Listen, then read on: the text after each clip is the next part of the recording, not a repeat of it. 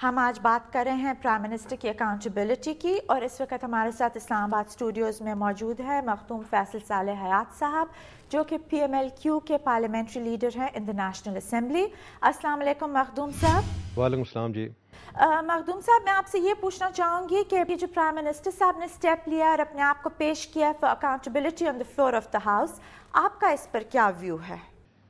इसको देखिए आयला इस पे व्यूज़ मेरी वही होंगे जो बाकी 16-17 करोड़ पाकिस्तानियों की हैं।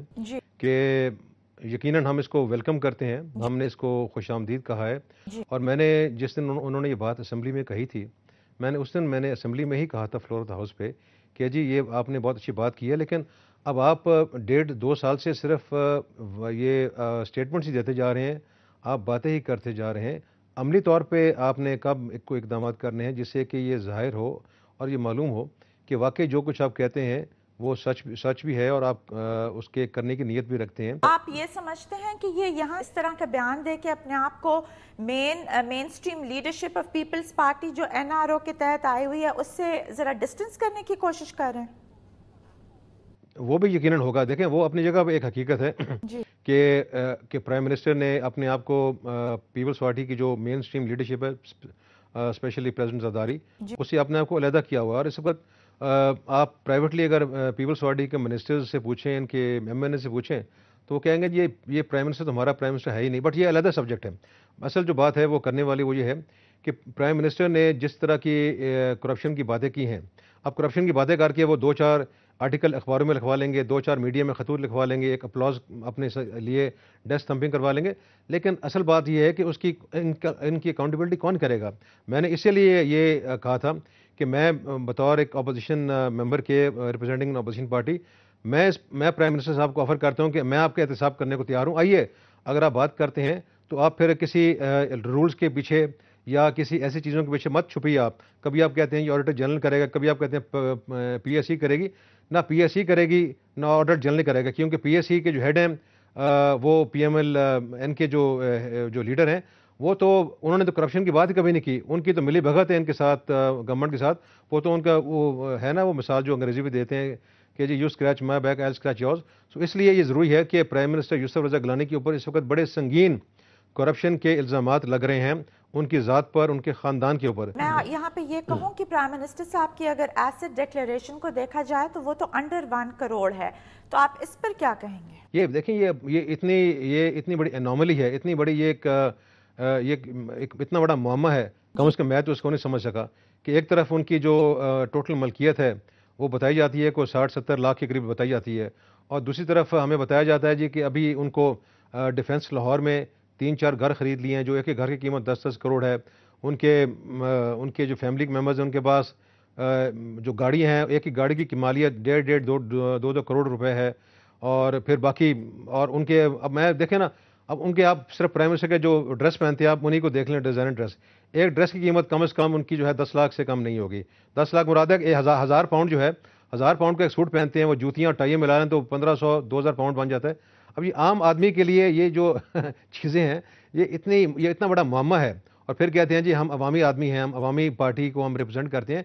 तो सबसे पहले मैं कहता हूँ जब प्राइम मिनिस्टर ने कहा है ना कि जी, आप आपने अगर अकाउंटेबिलिटी करनी है तो आप प्राइम मिनिस्टर हाउस ही शुरू करें। अब स्टेटमेंट दे दी उन्होंने, और स्टेटमेंट मेरे मुताबिक उन्होंने इसलिए दिए कि उनको मालूम था कि इसके आगे कुछ भी इसकी वक़्त नहीं होनी, किसी ने बात नहीं करनी बट हम चाहते हैं कि प्राइम मिनिस्टर अपने आप को सेल्फ अकाउंटेबिलिटी के लिए अपने पेश करें।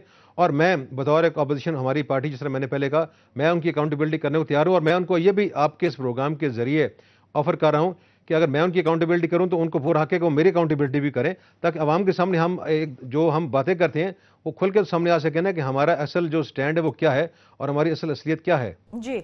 अच्छा मखदूम साहब आप मुझे यहाँ ये बताएँ कि जब आपकी हुकूमत थी तब उस पर भी कई इल्ज़ाम थे लाइक उस स्टील मिल की जो प्राइवेटाइजेशन थी उसकी बात हो रही थी और स्टॉक मार्केट क्रैश की तो यू थिंक कि इस वक्त उससे बहुत ज़्यादा करप्शन हो रही है जिसको आपकी गवर्नमेंट को जिसके लिए अक्यूज़ किया जाता था?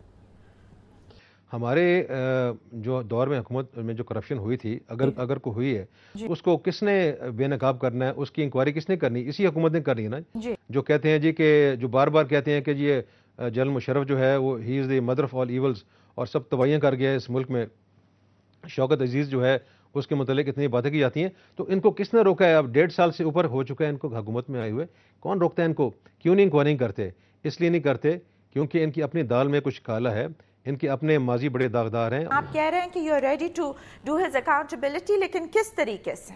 नॉर्मली uh, uh, किसी पार्लियामेंट्री डेमोक्रेटिक सिस्टम में जी। जो अपोजिशन अपोजिशन लीडर होते हैं वो होते हैं जो कि हुकूमत का एहतसाब करते हैं। यानी जो हुकूमत को शीशा दिखाते हैं और ये इसमें किसी को कोई ज़ाती इंसल्ट की या ऑफेंड होने की बात नहीं होती। ये पार्लिमानी सिस्टम का एक तरीक़ाकार है जो दुनिया भर में ये ऐसा होता है। हाउस ऑफ़ कॉमन्स में आप देख लें लोकसभा में देख लें अमेरिकन जो कांग्रेस उसमें आप देख लें ये हर जगह होते हैं यहाँ पे कि आप अकाउंटेबिलिटी करते हैं जो पीपल इन ऑफ़िस होते हैं। तो ये लीडर ऑफ़ द अपोजिशन का ये किरदार था जो उन्होंने करना था। Unfortunately leader of the opposition ने ये किरदार अदा- नहीं किया। क्योंकि आज तक जब से वो लीडर ऑफ़ द अपोजिशन बने हैं मुझे एक भी मुझे ऐसी उनकी बात याद नहीं जहाँ उन्होंने नेक नीति के साथ और उस पूरी विल के साथ उन्होंने ये कहा कि मैं प्राइम मिनिस्टर को और इनकी काबीना के जो मेम्बरान इनकी काबीना के मेम्बरान के जो दिन दहाड़े इनके जो स्कैंडल्स आ रहे हैं करप्शन के हवाले से वो किसी से छुपे डब्बे नहीं है कि उन्होंने कहा कि हम उनको बेनकाब करेंगे और उस पर हम इंक्वायरी करवाएँगे। इसलिए कि उनकी नीयत ही नहीं है। फैसल आ, ये जो प्राइम मिनिस्टर है वो अपनी कैबिनेट के लिए भी तो अकाउंटेबल होना चाहिए।